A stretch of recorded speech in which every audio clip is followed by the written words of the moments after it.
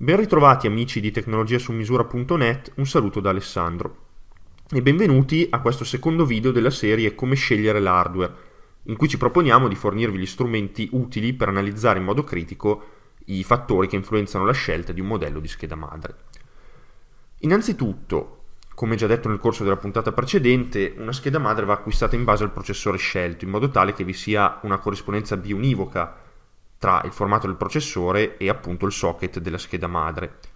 Questa compatibilità si può verificare osservando tra le caratteristiche di entrambi. Il nome del socket deve combaciare. Inoltre bisogna fare attenzione che il chipset della scheda madre ci consenta di sfruttare tutte le funzionalità di cui necessitiamo, come l'utilizzo di dischi in RAID, grafica integrata, eccetera.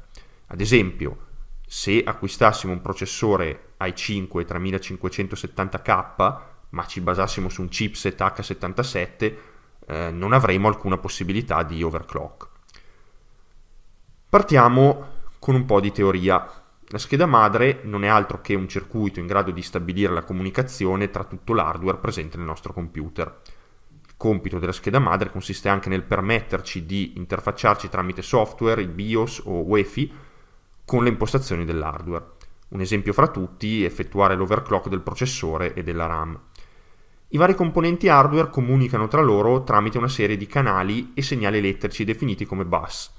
Ogni bus è definito da una propria larghezza di banda, ovvero dal flusso di dati che riesce a trasmettere per unità di tempo.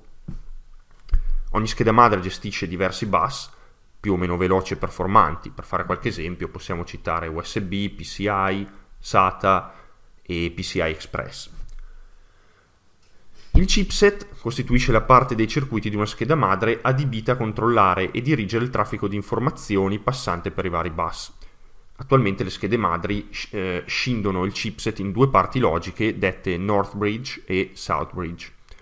Mentre il North Bridge gestisce la comunicazione con i dispositivi ad alta velocità, quali CPU, RAM e PCI Express, il South Bridge, al contrario, comunica con dispositivi lenti come USB, PCI, SATA, eccetera.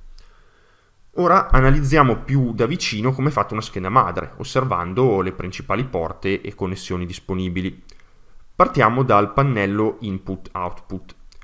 È l'unica zona della scheda madre accessibile dall'esterno del case e, come ricorda il nome stesso, permette la connessione con tutti i vari dispositivi esterni di input e di output, come monitor, stampanti, tastiere, casse, eccetera. Più la scheda madre è prestante, più questa zona sarà ricca di porte e collegamenti.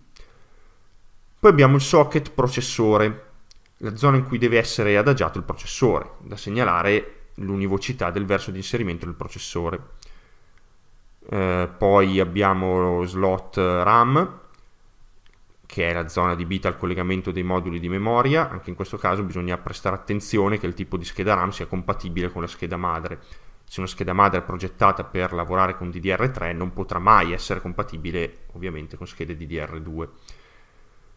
Poi abbiamo le porte eh, PCI Express dedicate al collegamento con la scheda video. Il numero totale di queste porte indica il numero massimo di schede video che possono lavorare in sinergia per offrire prestazioni grafiche superiori rispetto a una singola scheda di pari livello. Poi abbiamo le porte PCI dedicate al collegamento con schede di espansione varie, potrebbero essere schede WiFi di acquisizione video, eccetera, quindi porte SATA, eh, porte per il collegamento di lettori dischi e hard disk, le prese di alimentazione, eh, a cui devono essere collegati gli appositi cavi dell'alimentatore, in particolare i cavi da 24 e 8 pin, in modo da formare il giusto quantitativo di energia alla scheda di memoria del processore. Per quanto riguarda i formati della scheda madre più comuni per PC desktop sono in ordine di grandezza crescente eh, Mini ITX, poi abbiamo Micro ATX, poi ATX ed infine EATX. Naturalmente più una scheda è grande, più saranno ampie le possibilità di future espansioni. Quando si sceglie un case è importante leggere tra le sue specifiche tecniche che questo sia compatibile con lo standard di dimensione della scheda scelta. Dunque, riassumendo, abbiamo detto che la scelta di una scheda madre è condizionata dalla scelta del processore. Perciò, in primo luogo, bisogna fare in modo che i due siano compatibili. In secondo luogo, se è nostra intenzione fare overclock, oltre a verificare che il chipset lo consenta, è necessario fare attenzione che la scheda abbia un alto valore di fase di alimentazione della CPU e per conoscerlo basta leggere le specifiche tecniche della scheda. Questo parametro consentirà di raggiungere frequenze alte e stabili. Un terzo fattore che determina la scelta di una scheda madre è costituito dall'espandibilità. È importante sapere sia quanti gigabyte di RAM potremo montare, sia quante schede video e schede di espansione.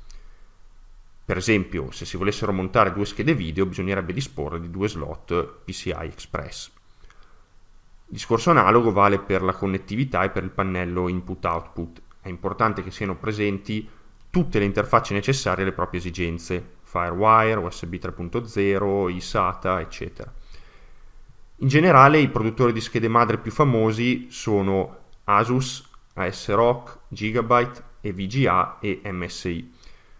Quando si sceglie un modello specifico è sempre bene documentarsi il più possibile sfogliando le recensioni di siti autorevoli, tra quelli italiani possiamo citare tomshardware.it, Extreme Hardware e Next Hardware.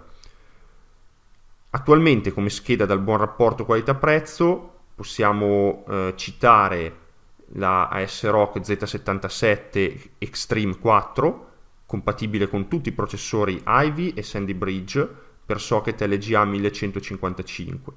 Se invece si vuole possedere un modello da top gamma, Citiamo per socket LGA 1155 Asus Maximum Extreme 5 e per socket LGA 2011 Asus Rampage 4.